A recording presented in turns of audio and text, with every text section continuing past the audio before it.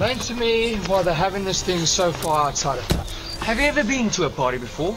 We're in the middle of nowhere, and some crazy family of mutants is probably going to kill us. Back in the 50s, the Whitmores were the richest family in town. They had this huge old estate in the middle of nowhere, right? They had the swanky masquerade ball in the manor house. Some guy wearing some kind of a bird mask came into the manor house and kills everybody at the masquerade ball. 62 people died that night, Mr. Roderick. Died screaming. Come on. Whitmore's been milking this thing for decades. Nobody believes in the Ravenwood curse. Right is allowing the dead to remain buried. And things you'll be a whole lot better off leaving alone.